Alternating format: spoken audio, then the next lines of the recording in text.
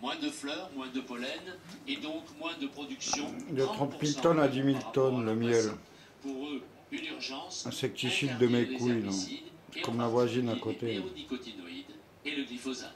Et on a des rennes et des ruches qui vivent que un an, un an et demi, alors que ça Il y a met vraiment 4-5 des collabos. Avant, c'était sur les feux en. Corse. Maintenant, ça se reproduit plus 15 en départs de feu en deux Il faut minutes. arrêter immédiatement parce que euh, on ne va pas vivre longtemps comme ça.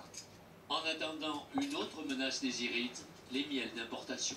On a acheté ces trois bocaux de miel en supermarché. Vous en pensez quoi? Mais l'appellation déjà miel originaire et non originaire de la CE, ça vaut absolument rien dire. C'est absolument aucune traçabilité. On peut mettre tout ce qu'on veut dedans.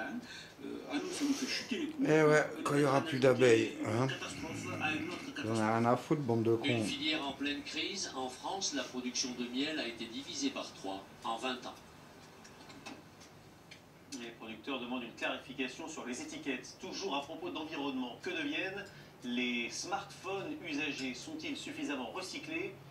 Il y a encore pas mal de travail, surtout qu'on le sait peu, mais c'est un appareil qui consomme des minerais et des métaux rares. C'est pas ça le problème. C'est la mongolisation de tout le monde. Xavier Boucher, Le formatage.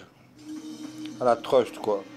Vous dites qu'ils sont fondés par, sont fondés par, par de télé. Je ne peux que prêcher la déraison, la destruction. Ah, non, non, non.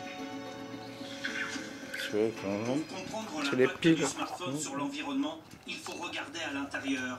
Ses secrets de fabrication vont s'étaler sur la table. La batterie, la dalle de verre et surtout la carte mère. Elle contient des minerais et des métaux rares.